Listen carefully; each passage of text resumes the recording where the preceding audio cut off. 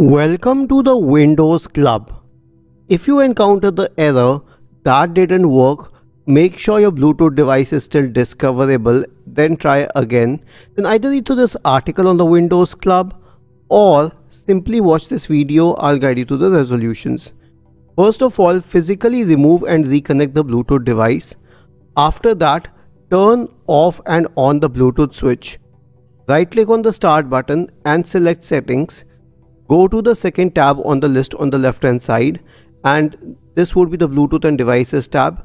Make sure that the switch associated with Bluetooth is on then turn it off and turn it on once again. The next solution would be to restart the Bluetooth services. These are the Bluetooth services. We will pick one of them for an example. Press the Windows key and the R button together to open the run window. Type the command services.msc and hit enter. This will open the service manager window. Scroll down to the Bluetooth support service and double click on it.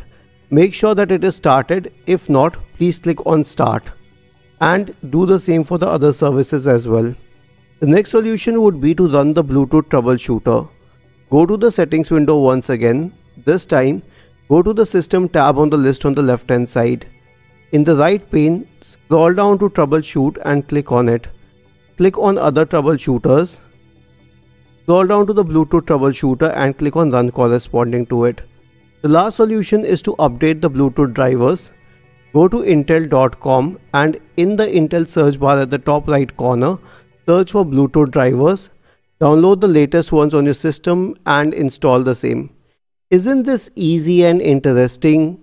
If you have any doubts, please go to the original article on the Windows Club, scroll down to the comment section and write your query.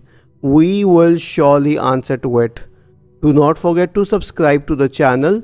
Thank you for watching this video and have a nice day.